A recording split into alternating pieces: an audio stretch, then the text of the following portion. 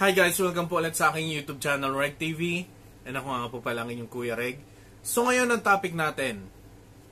Pakiramdam mo ba na parang binabaliwala ka sa isang relasyon?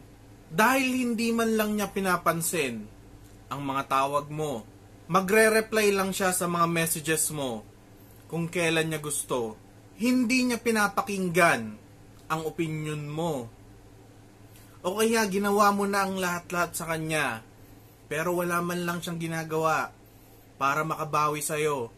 Pag hinayaan mo na laging ganyan, lalo lang yan lalala.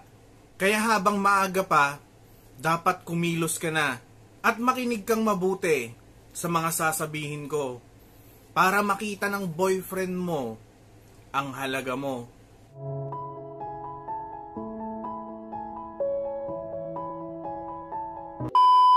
Number 1. Alamin mo ang halaga mo.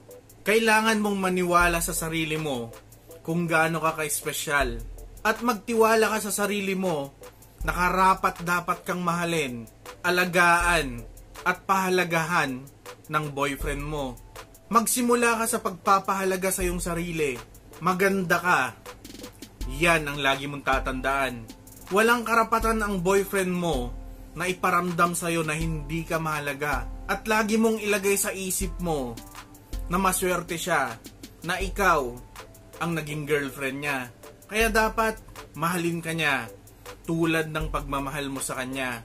Number 2. Bawasan mo ang nakasanayan mong gawin sa kanya. Siguro ay binibaby mo siya. Kaya ayan, imbes na irespeto ka, pahalagahan ka, ayan, ginawa kang katulong. Personal chef, masahista, at personal assistant niya. Nasanay na siya sa ginhawa na pinaparanas mo sa kanya. Kaya ayan, umabuso si Kupal.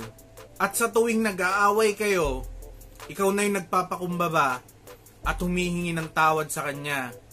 Kahit hindi mo kasalanan. Ang saklap, 'di ba? Ito ang mga nakasanayan mong gawin na kailangan mong limitahan.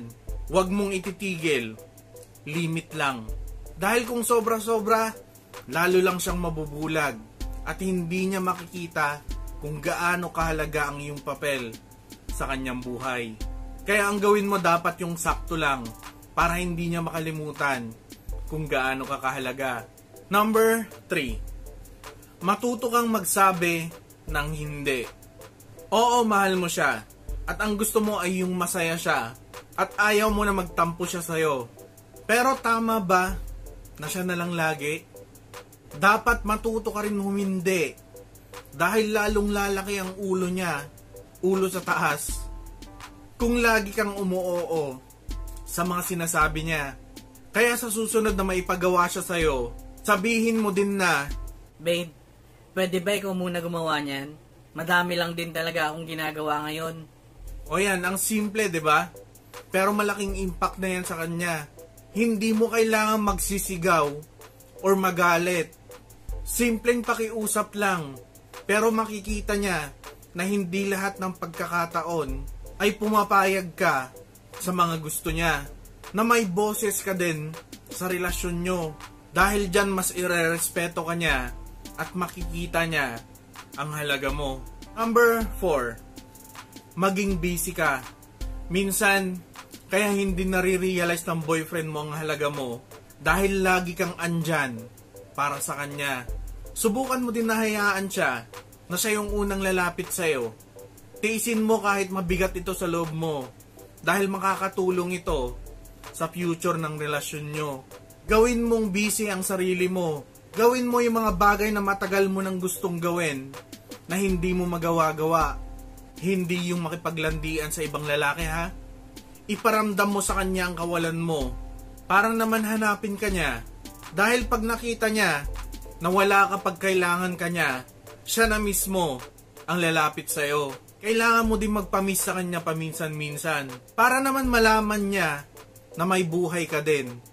At hindi yung lagi siya ang iniintindi mo. Number 5. Text and call. Lagi bang ikaw ang unang nagme-message sa kanya? Lagi bang ikaw ang unang tumatawag sa kanya. Oo, nagre-reply siya sa mga message mo at sinasagot niya ang mga call mo. Pero never na siya ang naunang tumawag or i-text ka para kamustahin or magsabi ng I love you. Kung ganyan siya sa'yo, kailangan mong itigil ang ginagawa mo. Dahil ang laging pagtitext at pagtawag sa kanya ay parang pinaparamdam mo na lagi kang available para sa kanya. Magiging tamad siya na maunang kumontak sa'yo. Dahil lagi ka namang kumukontak sa kanya eh. Kaya maghihintay na lang siya sa'yo at sasagutin kung ano yung mga tinatanong mo. Alam mo yon imbes na excited siya lagi na tawagan or i-text ka, wala. Dahil nasanay na siya na minu-minuto nagpaparamdam ka. Kaya kung gusto mong ma-realize niya ang halaga mo, hayaan mo siya na maunang tumawag at mag-text sa'yo. Number 6. Magsalita ka. Maraming babae ang hindi nagsasalita at tumatahimik na lang pag may problema or may hindi magandang ginawa sa kanila ang kanilang boyfriend. Hindi dapat ganyan. Kung may mga ginagawa siya na hindi nakakatuwa para sa'yo, kailangan mong sabihin. Dahil kung tatahimik ka lang, hinding hindi niya malalaman kung ano talaga ang tunay na nararamdaman mo. Hindi niya mababago ang pag-uugali niya.